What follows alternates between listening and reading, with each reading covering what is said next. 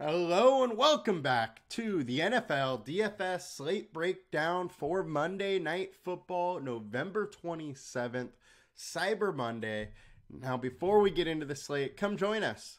$39.99 per month gets you access to everything we do, all the props, all the DFS for all the sports. Or you could use our Black Friday, Cyber Monday deal, which is if you buy the yearly pass you do get a free t-shirt and hat to go with it. Just make sure to fill out the jot form attached. All you got to do is click this little Black Friday spot here and fill out the necessary information and obviously purchase the year. All right. Now, we got a uh, Vikings or sorry, Bears versus Vikings game. It is in Minnesota. I think it is a fairly interesting game. There are definitely a couple different spots to go, and we will break that all down now. So, breaking down the quarterback spot, uh, Dobbs has a slightly better matchup. Minnesota has struggled a little bit versus quarterbacks, uh, you know, outside of the first couple games. Since then, they have been much better against quarterback. Uh, they've also played not quite as good of quarterbacks. Jalen Hurts absolutely crushed them. And due to the fact he got 35 rushing yards and two touchdowns on the ground. Now, Fields can definitely add those touchdowns on the ground. And uh, that is how he will make, you know, make his salary pay off. Uh, Dobbs is in the better matchup. A lot of a lot of guys have thrown over two quarterbacks versus the Bear or over two touchdowns versus the Bears this season.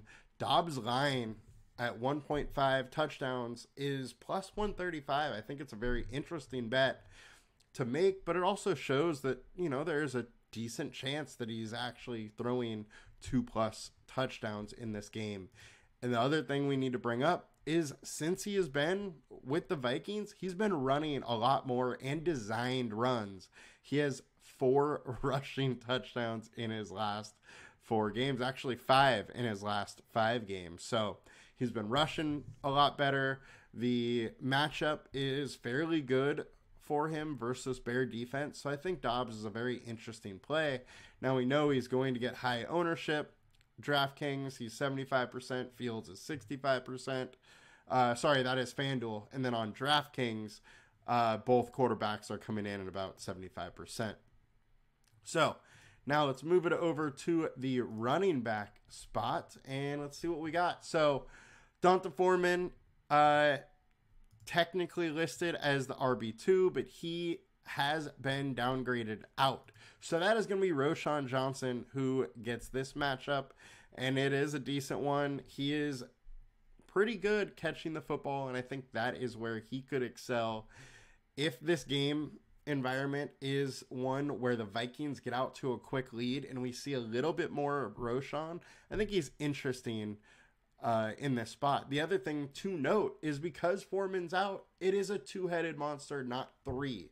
Last week, the Bears did rely on three running backs. It's going to be two running backs this week. So both running backs, Herbert and Roschon Johnson, get a little bit of a bump up, and I'm interested in both of them. Uh, Tyson Chandler, who is the RB2 for Minnesota, has a decent matchup. Couple RB2s have done pretty well versus uh, the Bears, and more importantly, in the pass catching work. McKinnon did well, P. Ryan did well, Gibson did well. Uh, where is yep. So Gibson four for sixty four. Uh, a lot of these guys have got it done through the pass, which is likely the way that Chandler and Mattison are both able to get it. The Bears are actually pretty good on the ground. If you note, you know, 13th versus RB1, and Mattison has a poor matchup. Uh, the Lions were able to find success with both their running backs doing extremely well, but that is a very, very good offensive line, and I don't think many teams could do that. Definitely do not believe the Vikings can. Now, all of them are in consideration. Don't really love one more than you know the rest. I would pretty much rely on ownership to tell me that. So Mattison's coming in the highest owned, 38%, Herbert 30%, Roschon 19, and Chandler 13%. One thing that's very interesting to note with Chandler, last week 10 carries, 4 receptions uh, in a close game and Mattison 18 carries, 2 receptions or 2 targets. So Mattison definitely got a little bit more work, but not much more work. So at 14% owned and 2K and less salary, Chandler is very interesting. And we move it on to the DK side. Herbert 52% owned, Mattison 42, Chandler and Roschon both around 10%. And at 10%, I think both guys are interesting. As I noted, Chandler is getting real work. You know, he's it's almost say a 55 45 per split or maybe 60 40 Addison Mattison to Chandler.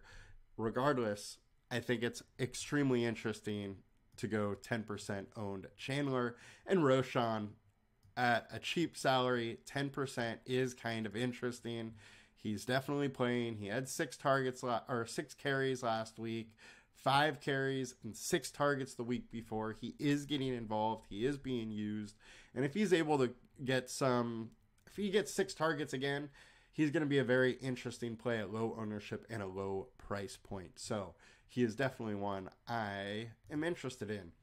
Next, we got good old wide receiver. So uh, Powell definitely has the best matchup for the wide receivers. He is getting consistent work since uh, Jackson has been out between three to five targets. And I don't mind going here today at low ownership and a cheaper price. Definitely will have some interest there. Addison is my clear cut favorite run uh, wide receiver on this slate. I do think there's a very good chance for him to get a touchdown, very good chance at him to get 10 plus targets.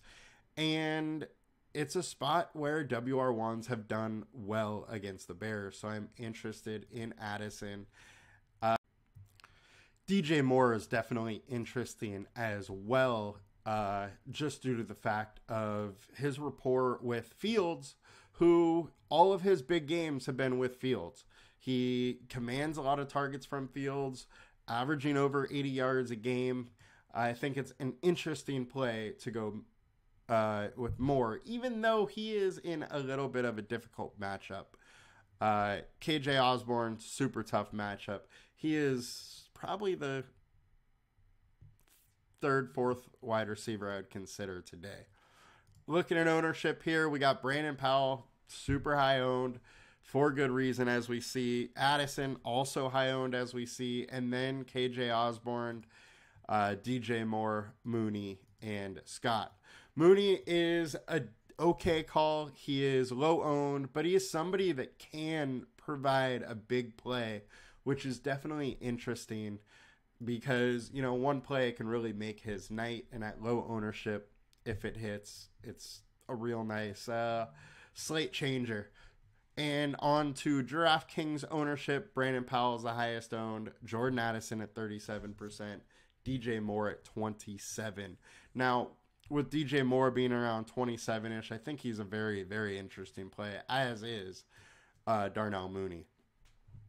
Now, let's get over to the tight end matchup. So, Hockenson has the best matchup. He's also the most used. The one thing I will point out is while a lot of tight ends are getting to that 40, 50 yard mark, there's none really breaking the slate. Uh, Kelce had the best game 69 yards and a touchdown, 77 and a touchdown from uh, Logan Thomas, 50 yards, no touchdowns from TJ Hockenson. So while I like Hockenson, and he is definitely one of the better plays on the slate, I don't absolutely love him if he's at higher ownership you know, I could think about getting off of him. Uh, meanwhile, Kmet has had some real good games and he is definitely one of the more favorite uh, pass catchers for the Bears.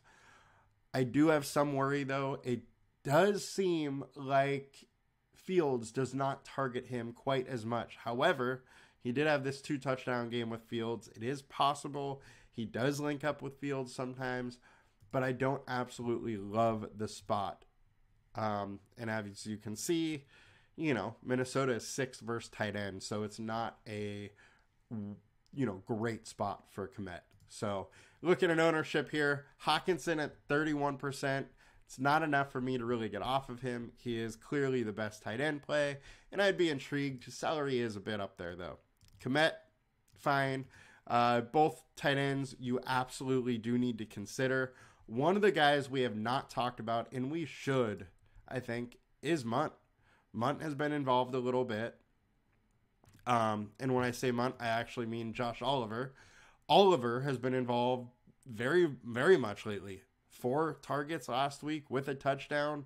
Uh, two a couple weeks before that. I think that with his level of involvement at super low ownership, he is worth at least consideration in consideration, especially on DraftKings where that minimum price is much lower, and that's where we're heading now. Hockenson 9K, 55% owned. Kmet 44% owned. Uh, Oliver 2600, 2.8% owned. I think he's a very interesting low owned target to go. You know, that's how we win these uh, contests, and at least win them solo, is uh, by a very low owned play coming through. So I think Oliver is in a very good spot. Defensive wise,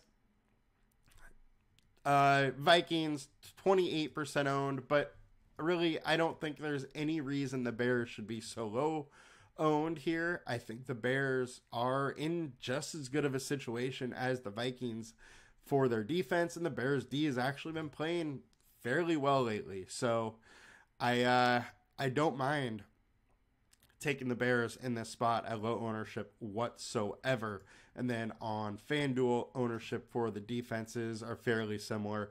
Uh, Bears are just a little bit more expensive than they are on DraftKings. And both kickers are in play with a 43 point game total. Uh, kickers' defenses are very, very much in play. If that game does not go over, there's likely to be a defense or kicker or both in the lineup. So do not be shy about playing your kickers. All right, guys, have a good one. We will be back shortly with more DFS this week, and let's go. Good luck.